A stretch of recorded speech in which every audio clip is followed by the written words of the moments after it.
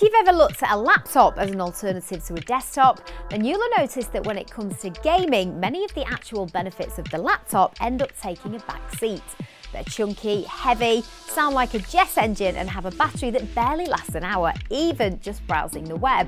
And let's not mention the size of the power brick. All in, not very good if you actually want to carry it round and use it all day for normal tasks.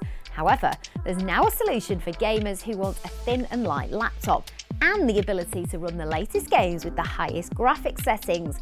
Meet the Razer Core X Chroma. Essentially, it's a separate enclosure for a desktop graphics card.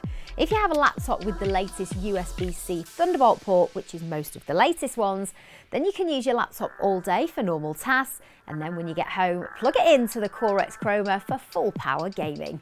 There's also extra connectivity built in too, so you can have permanently wired internet, a keyboard, mouse and a monitor, or three, plugged in permanently at your desk. You can even attach storage via one of the four extra USB ports to store games that you'd only play at your desk, saving vital space on your laptop hard drive.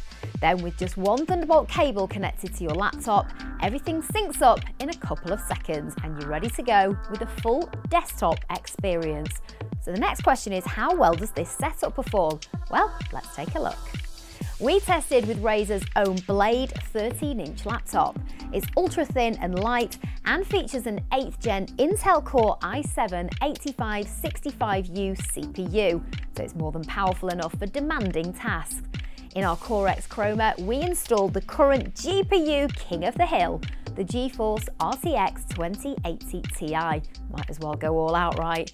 We compared three configurations, the laptop on its own using its built-in MX150 graphics processor, then the laptop connected to the Core X Chroma, and lastly, for a benchmark, a desktop PC featuring an i9-9900K and RTX 2080 Ti. First up is Apex Legends. As expected, the laptop on its own struggled to provide playable frame rates. 1080p was out of the question, even using the low setting, scoring just 19 frames per second. Reducing the resolution to 1360 by 768 with low settings did give us an average of 51 frames per second though. Once we add the Core X Chroma with its RTX 2080 Ti on board, this dramatically changes. In 1080p, we can now max out the settings and still achieve an average of 118 frames per second. This compares pretty well to our desktop PC, which managed 144 frames per second with its beefier CPU. Next, we tried Metro Exodus. As a relatively new AAA title, this was not playable at any settings for the laptop on its own. Once hooked up to the Core X Chroma, we started with 1080p and the Ultra preset. This resulted in 122 frames per second for the laptop versus 127 for the desktop.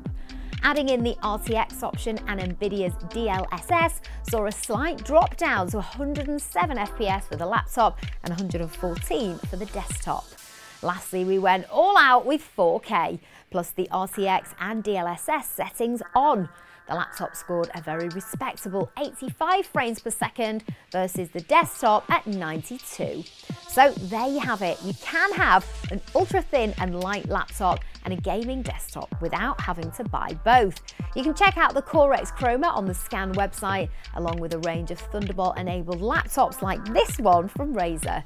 If you like this video, then hit that like button. And if you want to see more videos like this, then be sure to subscribe and hit the bell icon so you know when we post our next one.